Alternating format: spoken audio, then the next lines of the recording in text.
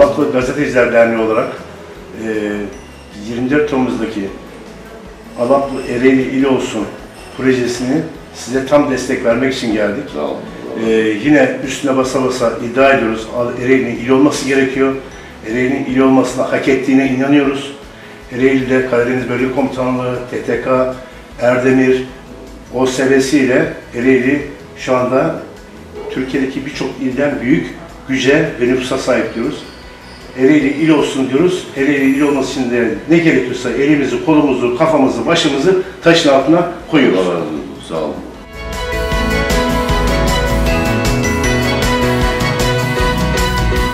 Çok memnun oldum. Büyük bir destek bizim için. E biz Ereğli'nin sadece Ereğli için il olmasını istemiyoruz. Biz Ereğli Alaplısıyla, Kandilisiyle, Ormanlısıyla, Gülücü'yle hatta hatta köyleriyle beraber bu, bu bir komple olarak mağdur olan, yardım alamayan bölgelerin yardım olması için il olmasını istiyoruz. E işte il olacak da ne olacak diyorlar, vilayet binası yapılacak falan. Biz vilayet binasına falan değiliz.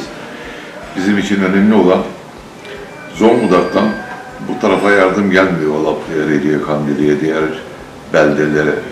Dolayısıyla Ereğli il olsun, e, iki tane milletvekili buradan seçilsin, Alaplı'dan, Kandil'den, Ormanlı'dan seçilsin, ilgilen meclis üyeleri buradan seçilsin. Dolayısıyla Ereğli il olduğunda, diğer yerlerin içi olduğunda devletten gelen, devlet bütçesinden illere ayrılan paradan e, buraya da bir bütçe gelecek, özel idaresi olacak. Köylerine muhtarlar vasıtasıyla asfaltını, yolunu, çerini, çörpünü yapmak için büyük bir gayret gösterilecek. İki tane milletvekili bu bölgeler olacak. Alaplı'dan, Ereğli'den, Kandili'den. Bu iki milletvekili sadece bu bölge için, mağdur olan bölgeler için çalışma yapacak.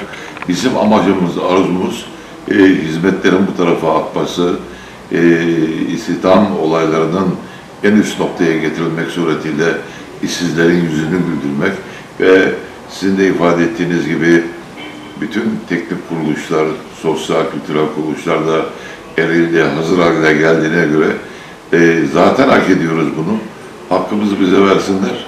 Ve burada hem Ereğli'nin hem Kandil'in hem Araplı'nın hem e, Ormanlı ve Gülücün ve köylerimizin yüzü gülsün istiyoruz.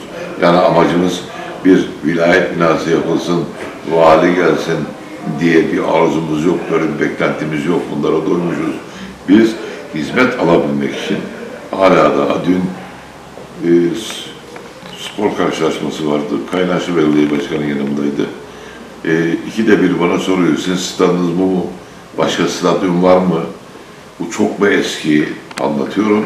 Tekrar dönüyor. Başka stadyum yok mu bu Ereğli'de diyor. Kocaman yer burası diyor. Benim 12 bin nüfuslu buradan daha iyi diyor stadyumum diyor. Utanıyoruz insanlardan. Hatta buradan camdan izliyoruz spor yapanları. Okulların ant- antrenmanlara geldiğinde zaman saat yetmediği için sahayı dörde bölüyorlar. Herkes bir tarafında okullar, antrenman yapanlar. Oralarda maç yapıyorlar.